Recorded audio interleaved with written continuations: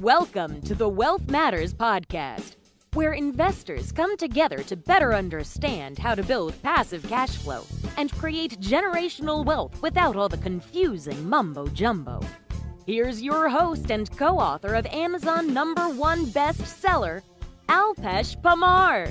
Welcome to Wealth Matters Podcast. I am going to talk to Mr. Patrick Geddes today. He's the co founder and CEO of Aperio Group, an investment firm with an astounding $44 billion assets under management by over 10,600 investors. Actually, they were acquired by BlackRock. And who doesn't know BlackRock, the world's largest asset manager for like literally 1.5 trillion in 2020 so uh, patrick has worked in the financial industry for 40 plus years and he's one of the investing's good guys and we'll find out if he's the good guy or not.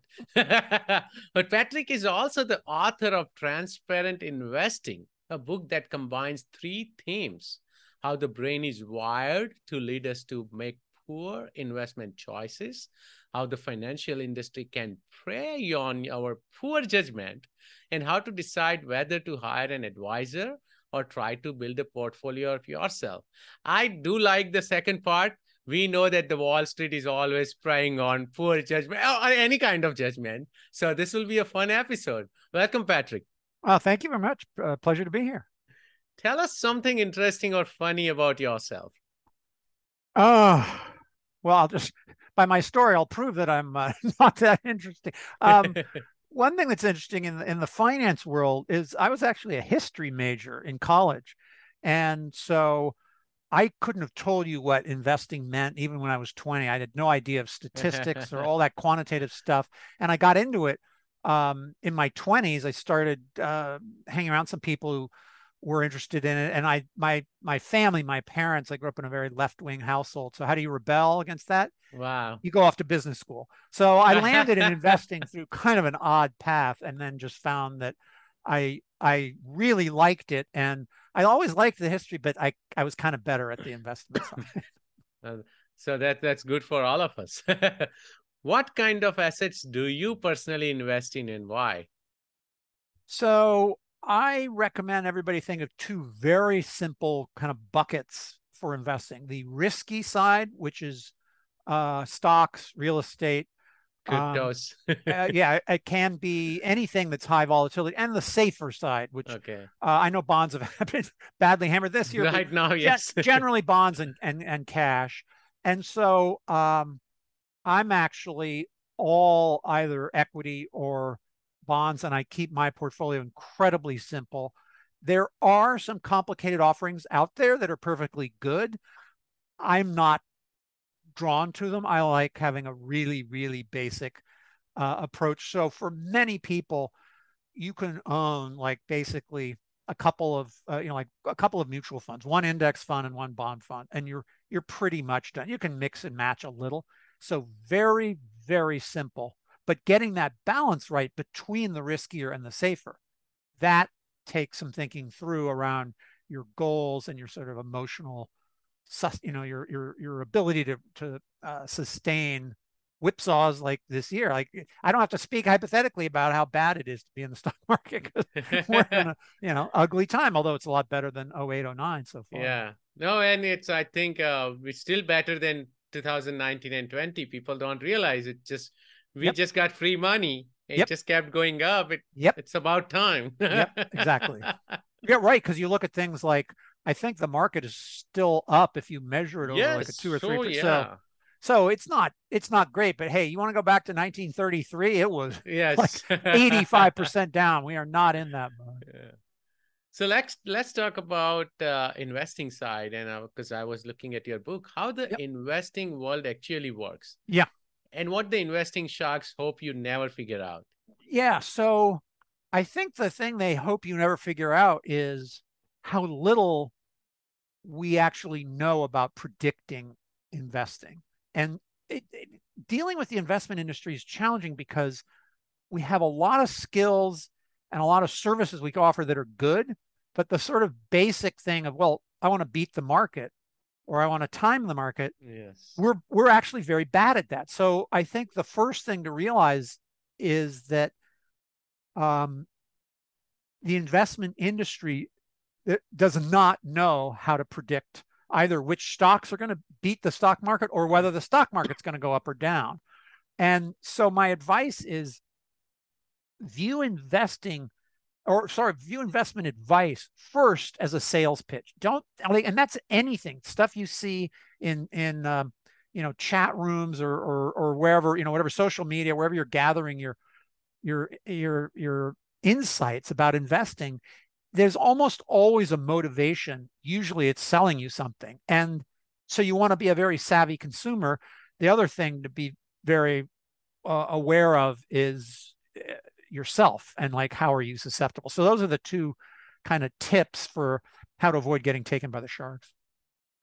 And and you talk about do it yourself investing. So how can most of the guys and i i don't invest a lot in stocks uh, by the way you know my podcast is mostly about alternative investing. Yep. So we do focus on real estate a lot yep. more because i believe yep. the tax benefits outweigh all the you know uh, all the other investment types. But even even when i'm investing in uh, stock market right now i don't personally but i do have an advisor who does it right? Because i don't have time. Yep. then i have friends who invest with me because they don't have time to invest yep. in real estate. They yep. they invest in stocks them, themselves so what are the signs we can use to figure out if i'm qualified for diy investing? Yep. So the uh, the first thing is to look at yourself and there are two pieces you need to bring to the, the party. One is uh, the most important is what I'll call emotions management. Are you going to be able to ride down a really bad stock market drop, like 50%? Most of us can't. and most, many of us can't. The right, thing is, advisors aren't any better at predicting, but advisors will tell you, like a wealth advisor will say, look, my clients flip out and sell at, at, during a down market, and I'm there to like talk them off the ledge. And that's a really valid service. Right. And it's almost like, you know, you you you pay a therapist to help you from yes. doing hard things that harm yourself. But um, that's one of the big things to look at. Also, do you have the discipline to actually do it? But to your point about time, I think there's an enormous distortion about how much time it takes because people will ask me, um, you know, how much time does it take? Once I've got it set up, how much time does it take to manage a portfolio uh, prudently? And I'd say 90 minutes every three years. No, no, no, you're joking. Nice. No. Really, how long does it take? 90 minutes every three years because you set your your breakdown between that that riskier and safer buckets and you may need to do a little rebalancing but otherwise you just ignore it you don't need to stay on top of markets. In fact, I'll go further than that and say you shouldn't pay any attention to all the noise going on because it's going to lead you to what uh, behavioral finance or sort of investment psychology calls the illusion of control. So that's how you figure out if you are qualified. The other side to that is what services do you need? Because the investment industry offers very useful services right. and some I call them suspect. Uh, let's let's call them more bogus. Things yes. like invest with me. I'll wisely steer you through choppy water. Like nah, bad. Like, and all you have to do is look at the track record. The industry's yes. track record is atrocious, and and we as individuals, our our track record is atrocious. Um, but there are things that are really valuable, like financial planning. How much do I need to save? When should I start mm. pulling from retirement um, or an initial asset allocation like how how much should i have in my riskier and my safer or maybe some tax tips but those aren't the things investors usually want which is are you going to beat the stock market are you going to keep me from right. losing money and the the honest answer is you you know ms consumer mr consumer you have no idea what's going to happen but my line on that is why do you want to pay me a lot of money since I have no idea either what's going to right. No so one has it, a crystal ball. and so it's all about set your asset allocation and then don't tweak it, don't fiddle with it for especially for the long term, like 20, 30 years. That's how people get really wealthy. But that is extremely hard to make appealing because it's so boring and it's so passive like passive index passive investing is the same as indexing that's the problem with passive is it feels so passive and that's why we get ourselves in trouble is we think we have control over something that's actually random and for millennia certainly since recorded history humans we freak out when we're presented with evidence that we don't actually control things and we make up narratives and stories to imply we do control things we don't. And that's a good chunk of the investment industry. But I'm not a total cynic. I don't throw out the baby with the bathwater. The investment advice can be really useful as long as you're not expecting you're going to get someone to uh, predict the future, like when the market's going to be up or down. No, that's pretty interesting. And and when I started investing in stock market, I got steered towards option and futures in back in 2015. And I got my backhanded out to me in 2016. And I realized this is not for me. And then of course the time I started looking at ROT return on my time where yep. I was watching the market like every hour. And futures, Forex, they are open 24 hours, by yep, the way, yep. right? Yeah. So I was always emotional I was always, you know, I would say stressed out, right? Interesting. If, so I'm like, okay, this is not for me. I yep. I, I, like passive. I like boring. That's why I went yep. to the real estate side where yep. I can just buy, rent out the property, and exactly. you know, let the property manager handle everything. Uh, right? yes, yeah, and and real estate is interesting because I don't own any, but it's a perfectly valid asset class. It's it's it's riskier than bonds, but it's got a higher return. But it's not as doesn't get as high a return as the stock market over time, but it tends to be lower volatility. So it's uh, and it's got some great tax advantages, but you may need to know something about it if you're going to do it directly, as opposed to just buying a bunch of REITs. Right. Um, so unlike um, stock investing, where you just can buy a single index fund and you're done, you don't have to research anything. As long, right. but you're basically you're buying world capitalism. Right. And so that's one difference. But I, I have a lot of respect for good real estate invest. I mean, there's also a lot of uh, like like any investment industry, you got to watch out for people trying to sell oh, yes, stuff. Of course, but it's a it's a very solid asset class. Um, it's just it's not as easy to come up with a super simple portfolio. Yeah, yeah, stocks anyone can do it, and that's why you know anyone can get started but right now most of the people right they they don't like the index. As you said it's boring. Everyone wants to pick the next next tesla next and Apple. and, and brag. The the, the my my viewpoint is it's not just a financial consumption that it's actually a kind of bragging rights. In fact um, there's some fascinating research on how uh, as a, in general on average men and women approach investing differently. Women are slightly better the oh, reason the okay. reason is how why they're not smarter. they don't do as much, uh... and men try and trade too much. So think of the the goal. Let's say you're in a room full of a hundred people, and this could apply to men or women. But you'll see which the sort of um, av- where it tends to segregate out. So if your goal is to look around the room and see those 99 other people, and your goal is, I want to be number one. I want to be the best investor in this room, the highest return, which is a perfectly normal sounding goal. The problem is indexing will never get you to be number one. You'll end up coming in around the top. Well, uh, like if everyone else is active, uh, you'll come out around the like 85th percentile. If you're taxable, oh, maybe okay. even 95th percentile. So you're going to be doing really, really well but you'll never be number one. So if your goal is, I want to maximize my ending wealth given the amount of risk I'm willing to take, then this really boring indexing is a terrific approach. And so if you're super competitive and you want both the money and the bragging rights, right. now you're in trouble because the bragging rights go with, you know, hitting home runs, use a sports metaphor, and um, the having the most money mathematical probability wise is this incredibly boring solution. So it's it's what i like to say about investing is it's very simple, but it's not easy. Because we're wired, especially males, to be after uh, you know, the next shiny thing and the bragging rights of, you know, I bought company X when you hadn't even heard of it is so gratifying.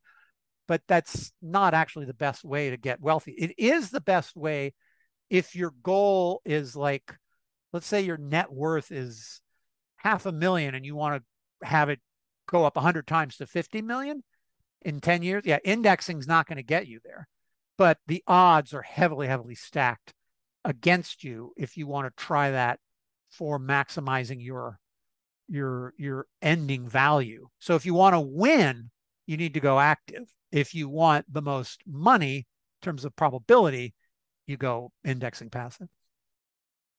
Oh, that's pretty interesting.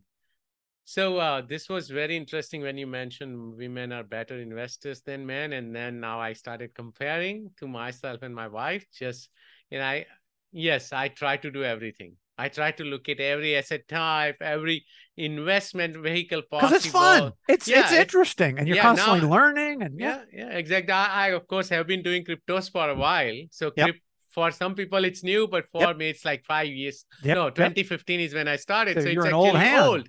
Yep. But now I'm looking at, you know, collectibles, wines and whiskeys yep. and a lot of yep. other asset class just to understand what else is out there yep. and investing in farm, agriculture, all. Wow. And, wow. and, my wife is like, oh yeah, just buy this one uh, piece of property and don't worry about and it. Don't that, worry about that's it. That's good enough. Yep, exactly. In fact, what's interesting is, you know what group of people does even better than women?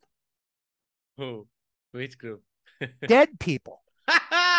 Fidelity re, uh, released some data that uh, um, oh yeah uh, that that uh, accounts that had been closed because someone had died, and I think it was I'm not sure um, situations where there was no one monitoring the account.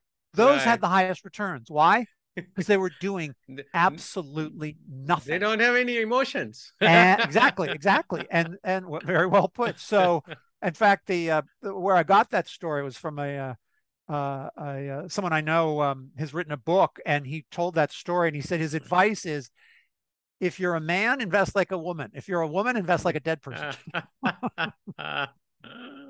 no, this is very interesting. So let's talk about using your brain or heart, right? So when you're yes. investing, should we invest using our brain or heart or using heart or, or wow what uh, is know, more hazard, more hazardous um I you know I've never been asked it that way. I um I'm not sure either is the right answer. Ba- basically, um, the smartest way to the most effective way to invest is like a Zen master, where you uh, what, what's the it's the play on the traditional line? You know, don't just do something, sit there, and that's what's great. So it I, I love it that you framed it as should I use my heart or my brain? My answer would be neither, because if you use your heart as you describe for yourself, you'll be on the the roller coaster, right. riding Emotional. around, and you know that's that's for other parts of life. That's for right. for you know your love life or or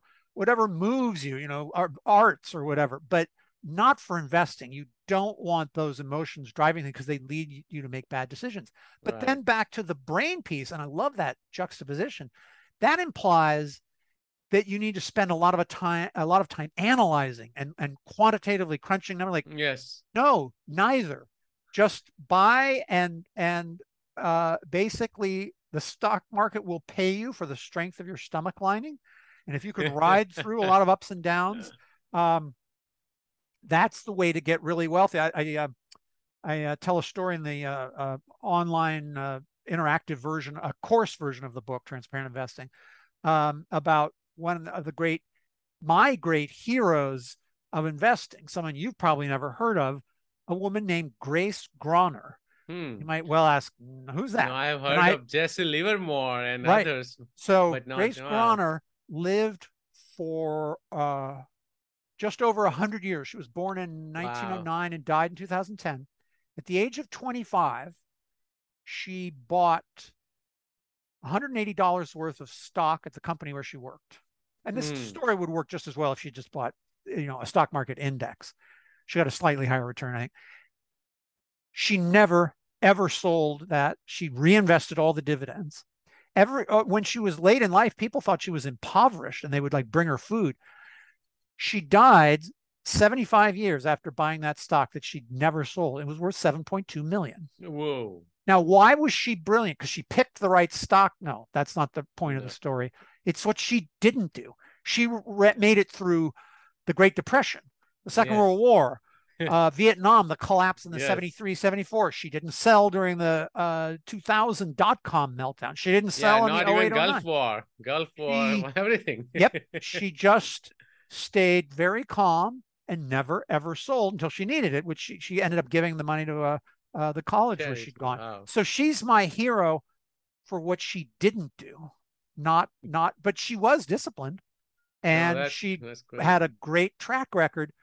But it's not a very sexy story, is it? It's just nope. she was grounded. Yeah, nope. And and she gave pretty much all of it away. Yeah. So yeah, yeah I forgot to mention brain, heart, or ear. Like when someone tells me, "Oh, buy this stock." ah, ah, yeah, I like that one. That's that's almost right? like the the social the yeah. social value of yeah. Oh yeah, yeah. It's all the game GameStop, uh, Reddit, all yep, that. Yep, stuff. yep, yep.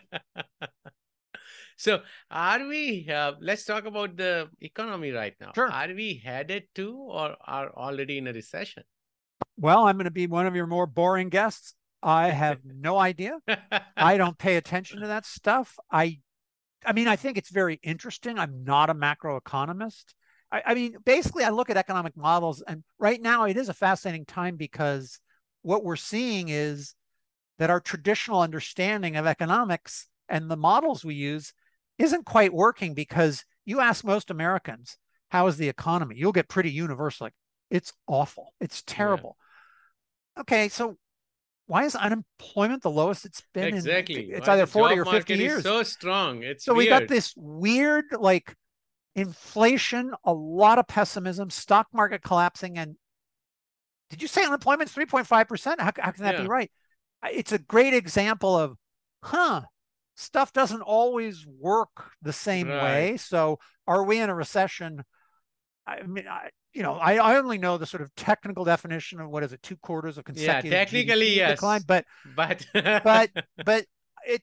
I mean, my wife was asking me this recently. She said, I don't quite get how we can have a recession with record low unemployment." And I was like, "Me neither. I, I just I don't know." So I think the lesson is, uh, you know, consistently throughout everything I'm preaching is, um, don't try and make decisions based on areas where we may not know what's going on. I, humility is usually associated in monetary terms with poverty, right? Like, you know, yeah. the the uh, Buddhist monks or the Little Sisters of Mercy in, in the Catholic Church or something. But actually, humility can make you much much wealthier because when you don't trade and you don't pay a, a wealth advisor if you don't need one and you just index most of the research would show like over a 30 year period, you're going to have around double the assets you would if you went the normal path. But it's it's it's it's hard to do that because it just doesn't sound right. It sounds so like it sounds like you're surrendering, and that's back sort of the the the the Buddhist side. I wrote an article called uh, "Zen and the Art of Portfolio Maintenance." That it's ironic that doing nothing is so sound an approach in investing and it's it's why you then end up realizing your your two um, hurdles you need to overcome are an industry that wants to sell you stuff some of which can be useful some of which is garbage and the other hurdle is your own brain. It's like your your brain is hazardous to your wealth. Oh that's awesome. Thank you so much. This is great. Are you ready for fire round? Sure. Would you be changing any business or investment strategy because of inflation or recession? And I think one of it is going to stay for some time. Yeah. so I would say for investing, no. I mean, you everyone should have been paying attention to inflation even two years ago. Obviously, I was surprised when it popped up this strongly. Um, you do need to remember that it's the high risk assets that allow you to endure inflation. Bonds and cash are terrible right. from an inflation perspective, but that doesn't mean don't own any bonds or cash, you still got to balance out your your your uh, risk tolerance. By that I mean like don't go so aggressively that you then bail out when everything blows up. That's a bad call. Be realistic about what you can tolerate. But which businesses? That's sort of more nuanced. Like I'm sure there's certain businesses that will do better or worse in an in an inflationary or, or recession environment, but that's kind of you know business specific. That's awesome. Favorite real estate or finance or maybe business book? You mean besides mine? yes, exactly. I was going to say that. so, um, on the investment side, just because of who he is, um, I'm a big fan of Jack Bogle's uh, little book of common sense investing. Not that it's got great breakthroughs, but he's so, um, you know, obviously you could gather he's someone I admire greatly. Um, on the psychology side, there are a couple really fun books. Um, one's called Super Forecasting by uh, Tetlock and uh, Gardner. And that's a book about how hard it is to predict. And the people who are the best at it are, they're not like super geniuses in terms of intelligence. They are relatively smart. What makes them extraordinary is even when they make a good decision, they go back and they're ruthlessly scrutinizing their own decision making process looking for where they slipped up where they had biases. There's i was reading it hoping he'd talk about humility and he went even further. He says no what makes you really good is when you're like unsparingly judgmental and harsh about your own decisions even when you were right which is a theme uh, that shows up in another book called thinking in bets by a gambler named Annie Duke. And her I book heard is of ter- that book. Oh yeah, it's great because she talks Mm. about this thing called resulting, which is a term I'd never heard of before reading that book, which means you measure the success of decisions on their outcome rather than whether they were good decisions at the time. And she cites Mm. this great example from a a, a U.S. football, a, a Super Bowl game. I think it's about 15 years ago, maybe more, where uh, very near the end of the game, it was the uh, Seattle was playing New England, and Seattle had the ball, and they were Is it very close. Yeah, yeah, they're about to score, and, and they threw the interception, and everybody said Pete Carroll made the dumbest decision in football history, and he said it wasn't a stupid decision. It, it wasn't a terrible decision. It was a terrible outcome. And then he showed the stats. What, what's the probability of uh, losing a fumble on a run versus an interception? Fairly close. Put in the time part. And of course, everyone was projecting you made the wrong call. He didn't make the wrong call. He just had a really bad outcome happen. And what Mhm. if their star back had fumbled the ball? Would they have said, oh, he made the wrong call. He should have passed. So there's this hindsight bias of, oh, you should have known. And that's back to the humility side. No, he didn't make a bad call. And that's where Annie Duke is great on um, kind of uh, how the brain works, which is very helpful for uh, for the self awareness. And of course, self awareness is not always a great thing. In my case, I'm sure others are like this. Self awareness means you see a lot of really unpleasant behavior, egotistical things, things times where you argue something you don't really have any good uh, justification. Maybe you're mansplaining, and it's uh, self awareness is very hard emotionally. Any tool or website you recommend or you cannot live without? Um, the the uh, what I like are some of the uh, financial planning tools. Um, Vanguard has a good one. Fidelity, Schwab. I, I'm not saying take the advice on all those sites, but they have some really good tools for how much do I need to save in terms of retirement, just to to help quantify things. Because unless you're a spreadsheet geek, that's not always intuitive to be able to calculate how much you need to save, your, your sort of retirement needs. I don't tend to like most, as you can guess, sort of stock tip Yes. um, uh, sites, though. Any advice for beginner investors? Uh, it's it's a lot of what I've been saying. Um, just because you don't know what's going to happen, don't presume you can't do it yourself. And please be wary of how the industry sells you things. And it's not that you should be confident, it's that you should be clear that um,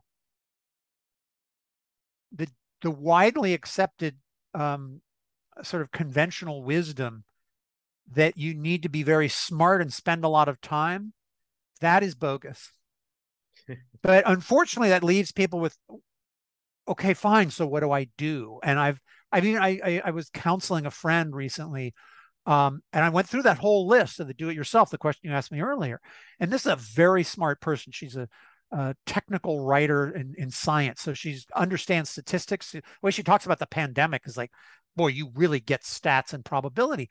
And I walked her through this whole thing and she just said, you know, I think I need to hire someone at low cost for maybe a couple years and then I'll take it over because I just, the whole thing just freaks me out. And I thought, you know what?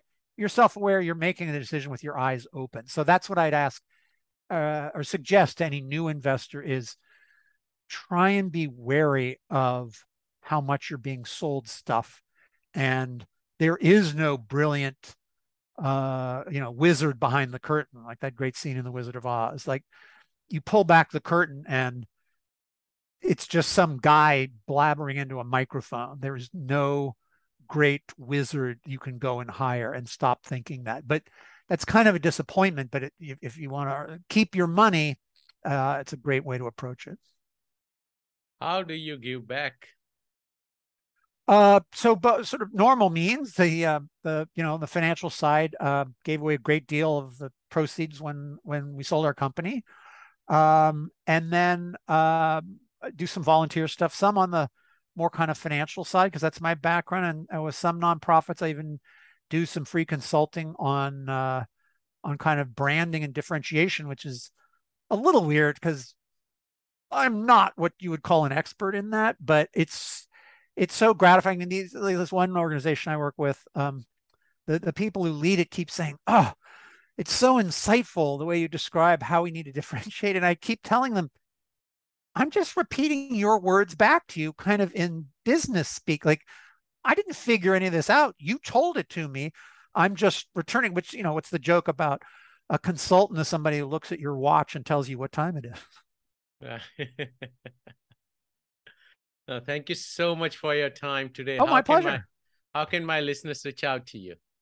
Uh, so my website, um, patrickgeddes.co, um, has all the uh, all, they need in terms of the book. And as I mentioned, there's this uh, online course, um, and so that's uh, uh, that's the best way to to get that material. And the, and the book's available uh, at uh, bookstores, Amazon, wherever you go. Well, this was great. I really appreciate your time.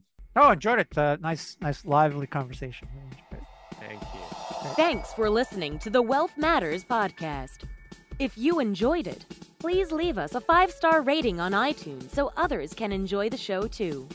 Have a great week and happy investing!